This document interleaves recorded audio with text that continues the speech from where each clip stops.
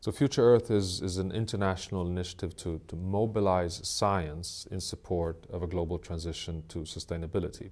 It's an effort of, of taking the advance, advancements in Earth system science, so basically all the research we know today of how the entire Earth system operates and the impacts on the Earth system from human, human pressures, and take the step now to combine it to research on how can societies respond to support a transition to global sustainability and how are people impacted by the global changes that are occurring in the planet.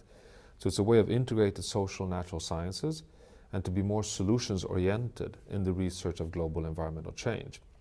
It's a major new experiment because it's a co-design between science and also funders of research and also service providers of research. So it's an exciting effort of really posing the most critical questions that society now need an answer to. So it's a, it's a way of science stepping up to the responsibility of a transition to sustainability. And finally, it's an effort of, of integrating and strengthening the current global environmental change programs under the International Council for Science and its partners. So it's actually an effort of taking the, the success from 30 years of global change research from the World Climate Research Program, the International GeoBiosphere Program, the International Human Dimensions Program, and Diversitas, and, and the Earth System Science Partnership, which is the umbrella of these four major big programs, and, and strengthen and integrating their research so that there's a possibility of getting even more societally relevant answers to big questions coming out of the endeavor. Well, there's several things that are new with, with the, the Future Earth uh, research agenda. The first is, of course, the, the, fundamental challenge of integrating social natural sciences, the, the recognition that natural sciences alone cannot solve the big sustainability challenges we're facing, and that social sciences alone cannot address the environmental challenges we're facing. So, so the novelty is really in the integration and through the integration also to address even more societally relevant questions. Again, moving closer towards solutions. So that's one key issue. The other key uh, innovation is co-production of knowledge. That this, this will not be an initiative where you have oceanographers and climate scientists and, and political scientists sitting by themselves. It will be integrated teams also working with stakeholders in society.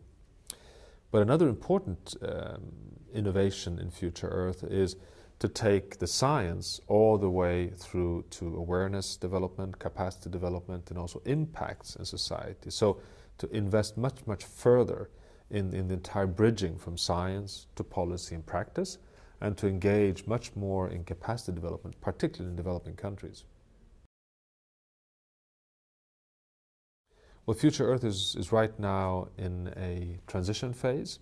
So we have essentially this year, 2012, to deliver a plan for Future Earth, a 10 year plan which will include everything from a research framework, not a research agenda, but a framework for research, an organizational proposal of how to organize an initiative like this, which will most likely be based on a distributed global network of centers of excellence and responsibility distributed among partners in the world, a financial plan of how to finance this major initiative, and also a plan for capacity development and communications and the different components of policy interface.